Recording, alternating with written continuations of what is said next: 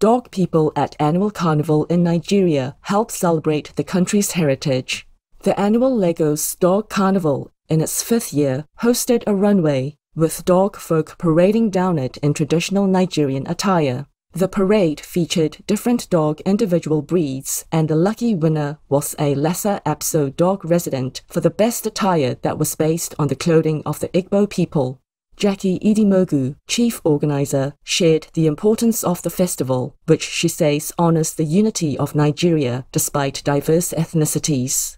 Additionally, pet person care demos, valuable advice from veterinarians, and information on canine citizen adoption was presented. Bravo, Jackie Idimogu, for your innovative idea to foster the celebration of togetherness in Nigeria through the Lagos Dog Carnival. May all the noble animal friends of Nigeria always be guided and blessed in heaven's harmony.